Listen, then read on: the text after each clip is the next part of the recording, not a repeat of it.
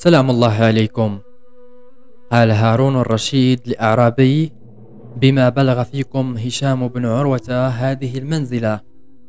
قال بحلمه عن سفيهنا وعفوه عن مسيئنا وحمله عن ضعيفنا. لا منان إذا وهب ولا حقود إذا غضب. رحب الجنان سمح البنان ماضي اللسان. فأومأ الرشيد إلى كلب صيد كان بين يديه وقال والله لو كانت هذه في هذا الكلب لاستحق بها السؤدد.